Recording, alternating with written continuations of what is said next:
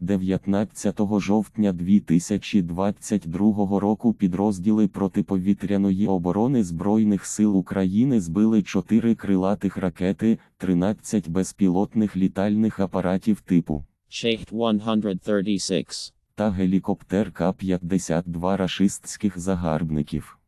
Зокрема, Сили оборони Чернігівщини збили дві ракети рашистів. Наші оборонці завжди на варті та передають щире вітання всім кацапам.